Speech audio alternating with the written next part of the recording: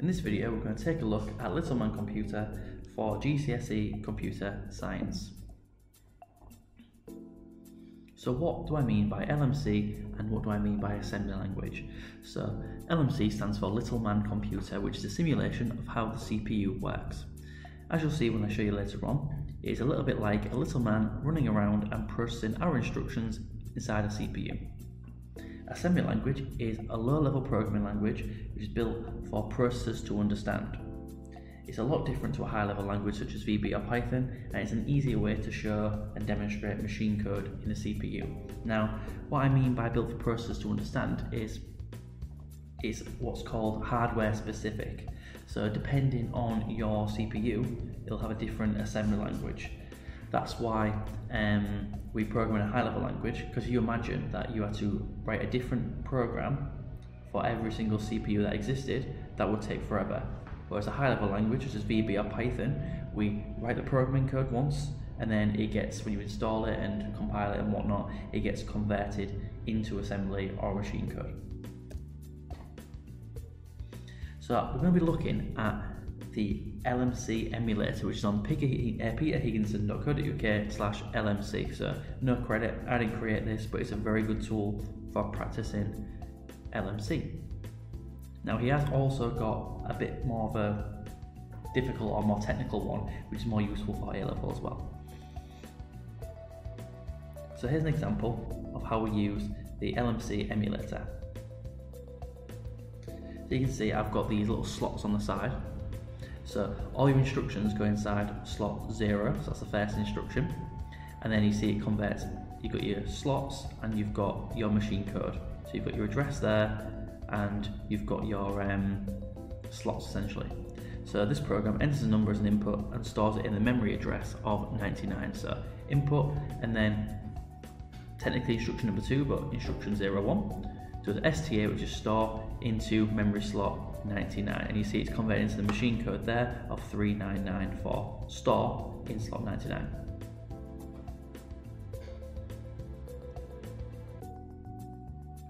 so a bit of a recap. RAM or DRAM is random access memory and it stores the data for current running programs. It loses all data when the computer turns off because it is volatile. But RAM essentially has lots of spaces or lots of slots to store your data and instructions so the CPU can use them. So here we've got the code window here, we've got the output tray, the input tray, the CPU itself, and these little boxes are called mailboxes, which are slots in RAM. Then in the CPU, you've got the program counter, which keeps track of the next mailbox to get the instruction from. You've got the instruction register, address register, and accumulator. Now in the last video, we spoke about the memory data register and things like that. This one doesn't have them broken down, you just got the essentially the address register, so like the MAR there, and then we've got the instead of an MDR, we've got the instruction register. So this stores the code for the instruction. So for store, it'd be three, and say if it was storing in slot 54, it'd be three, and the address would be 54. And then the accumulator just stores the last sum the computer has done. So it's not quite as detailed as um, what I spoke about in the previous video where I was talking about all the different uh, registers, but still it's enough to get an understanding of what's going on. So these little slots are called mailboxes, and it's a fancy way of saying a slot in RAM. Now, each one of these in the LMC is a space to put in a three digit code. So, if I had, for example, the code 398, it's a store is number three. So, the machine code for store in this uh, emulator is three, and then 98 is mailbox 98.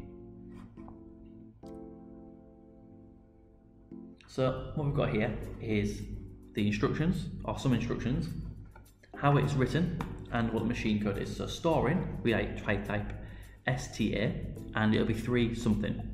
Add is just add, and it's one something, so 199 would be add what's in the accumulator to whatever is in 99. Sub is 2, input is 901, output is 902, and end of the instruction is 0. So the first command we're going to look at is INP, which stands for input, obviously. Now, just like in Python, if you've programmed in Python, it allows us to enter in a number. Next command is out, which stands for output. So just like print in Python, it allows us to send information to the user. In this case, instead of popping up with a box or something, we've got this little output tray. So this one, I had nothing programmed, so I just typed it out and it stored. Uh, sorry, it took what was in the in the accumulator, which was nothing, and outputted it. So it outputted zero. Then we've got STA, which stands for store. So just like a variable in Python, or VB, it stores the data into a specific memory location. So if you are doing this as you go along, which I highly recommend, if you just type in STA99, it's just going to put nothing, so what was in the accumulator, which would be nothing, into 99, so it's not going to change. You're much better off typing INP, then store 99, and whatever number you type in will appear in the 99th mailbox. But that is a way of storing information. Now, LDA stands for load, and it's exactly the opposite of STA. So this one, it'll take the data out of the mailbox and put it in the accumulator. So it's really important if you are programming in assembly language that if you've got something you want to keep and it's in the accumulator, you need to store it before you load something else, otherwise it will get rid of it. So this program, it takes a number, stores it in slot 65, it then gets another number inputted and then overwrites the old number with the previous number. Okay, so essentially this just inputs one number because it gets rid of the second one, so it overwrites it. We've then got add, which stands for add. Don't really get any points for uh, guessing that one.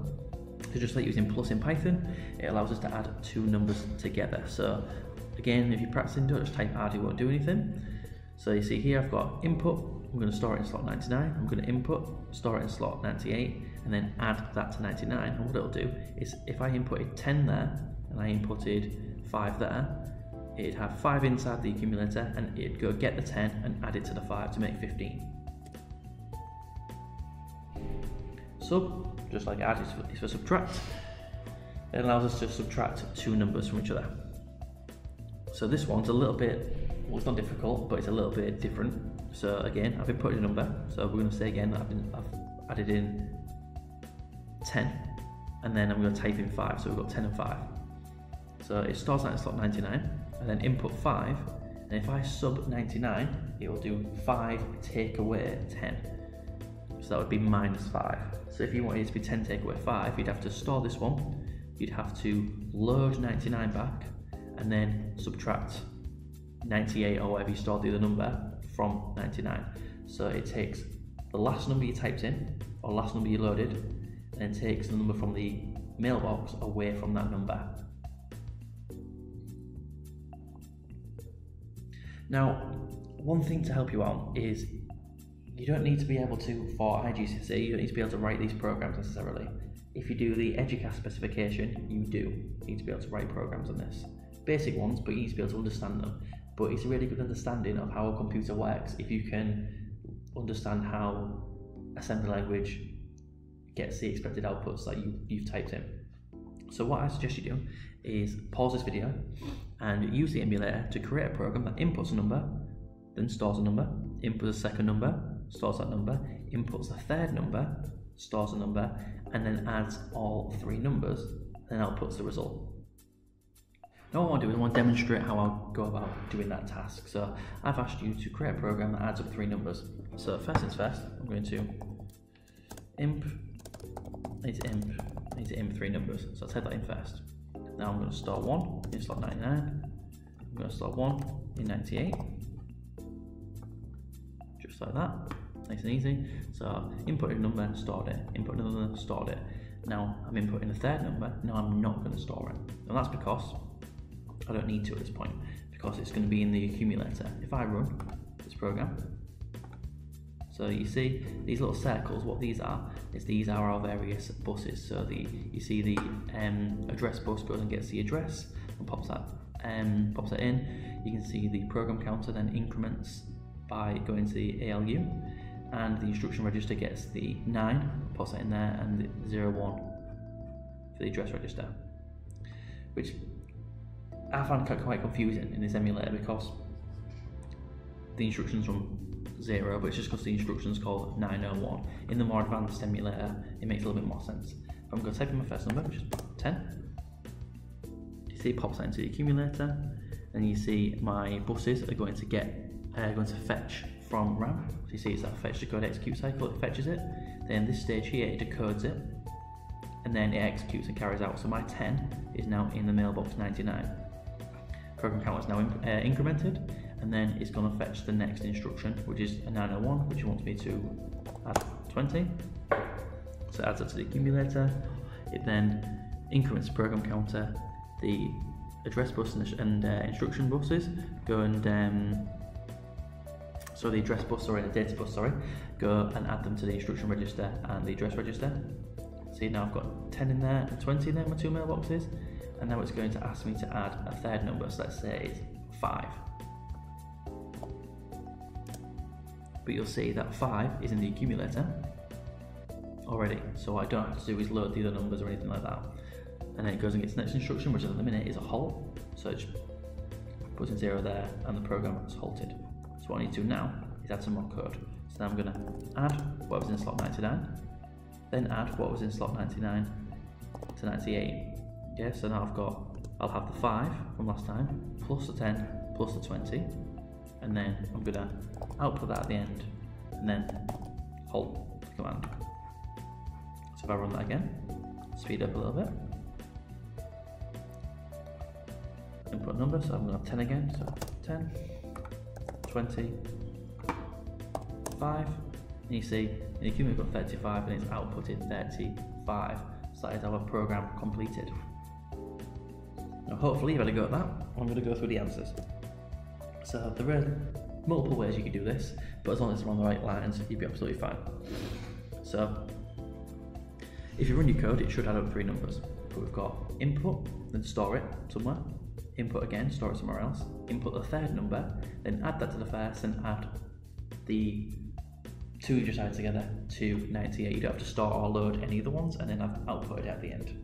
Now, one thing I should have added at the end is a HLT, but quite often I don't bother and that's probably lazy on my part, but that's because an empty mailbox has zero in it anyway, so it will just stop anyway. But that is probably lazy on my part. In fact, it is lazy.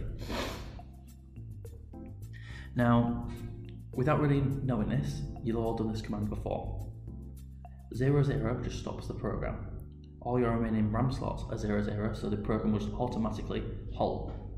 Now, the reason for an n slash halt is because you won't really say I'm going to halt the program, you say I'm going to stop or end the program, but the actual code you need to write is HLT. But it just stops the program where it is, so it just reads 00. The next command we're going to look at is DAT, which stands for data location, and it's a little bit like a variable in programming in Python or Visual Basic. And what this does is it saves the data you want into the corresponding slot to your code line number. So what I mean by that is, you see this bottom line here. So value is the name of the variable I want. So I'm going to call it value uh, variable, uh, value, sorry. And then I'm going to type dat, and then I'm going to say what I want to put in that variable. So when you might write in programming, um, value equals 50, we should put value dat 50. Okay. Now you don't have to put a value if you want to input a value into that. You could say um, input and then store sta value. So what this one's going to do is it's going to output zero, it then load the 50 and then output the 50 again. Okay, so it's if you take that code in, it's a bit of a demonstration of how uh, data location works, how that works. Now where it starts getting a little bit more complicated is when we look at branching. Now branching is the most basic form of selection and works very similar to an if statement. So in branching, we label particular instructions and skip them under specific conditions. We can also use it to loop our programs. So in LMC, the condition we look is what's in the accumulator at that point. So the first one's nice and easy, just branch always. And what this does is it changes the program counter to a different location. So instead of going 0, 1, 2, 3, what I could do is I could make it so it goes 0, 1, 2, 0, 1, 2, and just keep looping forever, inputting numbers. It's a little bit like a go-to in some programming language, which is not a command you should be getting used to using. But in like early languages like Basic, you can just do go to line three and it'll just skip essentially the code. We then got BRZ, which stands for branch while zero. Now, what this does is it changes the program uh, counter to the address specified if that accumulator is currently zero. So you see here, I've got I'm inputting numbers, and then I'm taking them away from each other. Now, this program will loop if two numbers subtracted from each other become zero. So if I typed in 5 take away 5, so 5 and 5, it would keep looping asking me for more numbers. If I typed in 10 take away 5, it would not loop because the accumulator would be, in this case, 5, so it would not loop. However, if we've got, also got branch while zero or positive, which is BRP, and what this does is exactly the same, but if it's zero or positive. So in this case now, with the same exact program, if I type in 10 take away 5, it will loop, and 5 take away 5 will loop. However, if I typed in 10 take away 20, it would not loop, because it'd be a negative number. Now, hopefully you understood that and it made sense. What I would definitely recommend doing is rewatching the video and practicing the code as you go along if you haven't, and just make some programs. There's some example ones on the website anyway, but just do little calculators or you know just adding up some numbers. Maybe have it so um, prints out a sequence of numbers. See if you can um, work out how you might do multiplication. That'd be quite difficult, but something you could try.